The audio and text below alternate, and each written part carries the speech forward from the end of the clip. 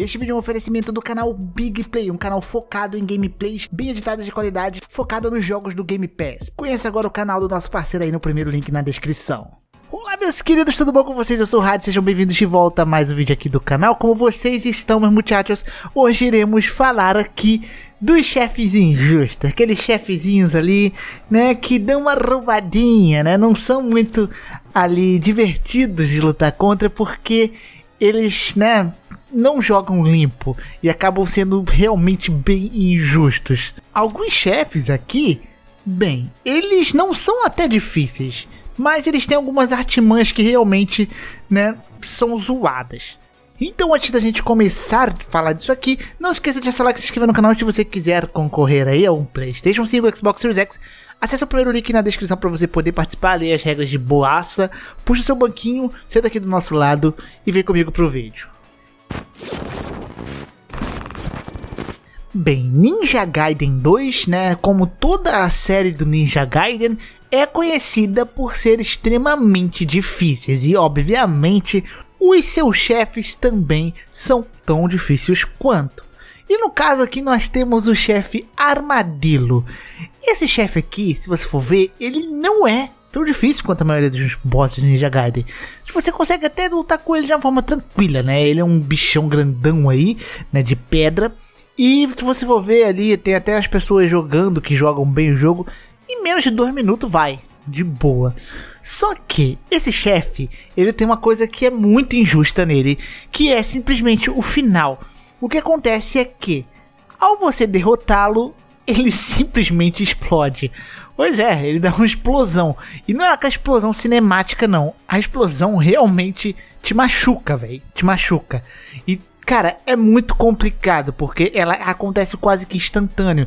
Não é tipo assim, ah, começa a tremer a tela e tal, e você sabe meio que tem que sair de perto, sei lá. Não. Acabou, basicamente, deu um segundo, o negócio explode. E aí você simplesmente falece e fala: Hum. E agora? Pois é, e aí eu vi na internet que tem muita gente que não sabia passar desse chefe. Muita gente ficou tirando shuriken de longe, flecha para tentar derrotar ele e para tentar sair da área de explosão, sair correndo, não dava tempo. Muita gente ficou preso nesse chefe por causa disso. E adivinhe, é só você bloquear. Sim, acabou a luta dele, caiu. Já aperta o botão para bloquear e que vai ativar a cutscene do jogo e você vai acabar a luta. Mas isso não fica explícito, não é tão intuitivo no jogo. Você acha que simplesmente você tem que fugir, não é? Uma explosão daquela só bloqueando você vai conseguir escapar. Mas é, dá para fazer isso, olha que louco, né? E aí é, é tosco, né? Você tem que enfrentar o chefe, tem que passar a dificuldade do chefe, para no final você descobrir que ele tem uma artimanha que simplesmente dá um hit kill. Você perde e aí você tem que enfrentar ele de novo e tentar trabalhar nessa mecânica que só é ativa quando acaba a luta. Então é bem tosco mesmo. Alguns simplesmente não vão lembrar, mas muitos aí simplesmente vão ter aquela nostalgia do Gunstar Heroes do Mega Drive. Esse jogo de running gun aí clássico era muito divertido, cara, muito bem bonitas as animações desse jogo pra época, inclusive. E esse jogo ele possui uma fase semelhante aí ao do Cuphead, na verdade do Cuphead semelhante ao dele, em que você tem meio que um minigame que você percorre aqueles jogos de, de casas que você tem e aqui você joga um dado. E esse dado aí vai percorrer as casinhas e você pode cair em chefes. Você pode lutar contra chefes. Né? Isso daí já é chato pra caramba. Porque você perde, você tem que voltar tudo de novo. Só que diferente do Cuphead, que dá meio que pra você prever o que, que vai acontecer. Aqui não, aqui você realmente vai jogar um dado, tá? E você vai ter que ter sorte com aquele número. Inclusive tem a chance de você cair na casa que você tem que voltar desde o início. O que já é injusto por si só. Como se não bastasse depender da sorte para tudo isso aqui, o que já não é muito justo, e você tem que enfrentar uma série de chefes, quando você passa por tudo isso e chega no chefe final, você vai enfrentar o tiozinho dentro de um mecha. Só que aqui, cara, a boss fight até nem é mega difícil, nada do tipo. Só que tem uma, uma trollagem aqui, semelhante ao Ninja Gaiden. Todo chefe ali que você derrota dos principais do jogo, eles dropam um cristalzinho, uma espécie de cristalzinho, né? É, o, o cristal às vezes muda de forma, mas em geral eles dropam um itemzinho ali, tá? E é clássico desses chefes. E esse chefe em questão aí faz a mesma coisa, mas é uma granadinha. Pois é. Então ele vai e joga, e se você for para cima disso aqui, você provavelmente vai falecer, dependendo da quantidade de vida, e vai ter que voltar tudo de novo. É assim que é a vida. E para isso que você tem que fazer, você tem que já saber. Você tem que esperar ele jogar e vai explodir. Aí assim, você dá uma estapefada nele que ele vai falar: "Não, desculpa, desculpa". E aí vai jogar o drop verdadeiro para você. Mas olha que malandro, né? É, deve ser bem triste depois de passar de tudo você falecer por uma trollagem injusta dessa.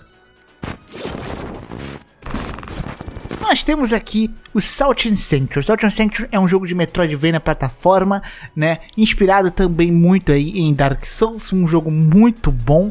E como eu comentei num outro vídeo falando também de chefes injustos, Dark Souls tinha um chefe injusto que era Battle of Chaos, que você precisava ficar pulando ali das coisas, algo que o jogo simplesmente não foi feito para isso, né? Então você podia cair, é aquele tipo de batalha que fica te jogando nas coisinhas, você fica caindo, então não, não testa tanto a sua habilidade, né? E sim sua paciência.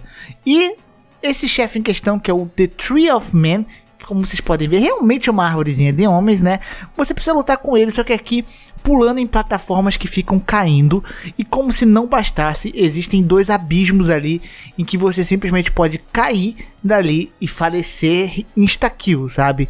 Então não é muito justa em relação à grande maioria das lutas de Salting Sanctuary, porque é que você pode simplesmente só cair ser empurrado para um abismo, sabe? Então é roubado. E aí, né, a galera reclama muito porque é simplesmente isso. Eles ficam tacando fogo em você. O chefe às vezes dá um batidão no chão para te empurrar para você cair para abismo. As plataformas ficam caindo. Isso aqui requer mais um jogo de você ter que saber pular plataformas e acertar o chefezinho que ainda é chato de acertar, do que simplesmente ir por causa da sua habilidade.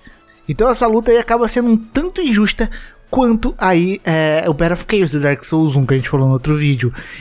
Simples por causa disso, é. É bem chatinho. Plataforma caindo toda hora, se podendo cair, ter que ficar pulando, esperando a plataforma voltar, calcular o tempo. Nossa, realmente é uma, é uma das lutas mais frustrantes do jogo. E para finalizarmos, né, nós temos aí os bonequinhos, né, os bonequinhos, que é o esquadrão de Dark Souls 2. Como se não bastasse, né? Você vai enfrentar um chefe? Não. Dois? Também não. Você vai enfrentar três. É, é que é uma luta tipo de invasores, né? São como se fossem NPCs contra você, só que em forma de chefe. E, cara, é muito chato. E a injustiça é pelo fato simplesmente que são três contra um, né, velho? Eu acho que em nenhum lugar isso aqui é justo. E o pior de tudo é que eles são planejados, sabe? Eles sabem buscar o equilíbrio. Você vai ter o fortão com a armadura do Ravel lá, com o osso de dragão, que vai, né, te dar um, uma lapadinha. Aquilo ali vai tirar muita vida de você. Aí você tem um outro, que é pra dar uma balanceada, que ele é mais leve, mais ágil, né, que vai ficar te dando ataques mais rápidos. E como se não bastasse, né, se você tentar fugir, o mais rápido vai te alcançar tranquilamente. E o terceiro vai ficar de longe atirando flecha.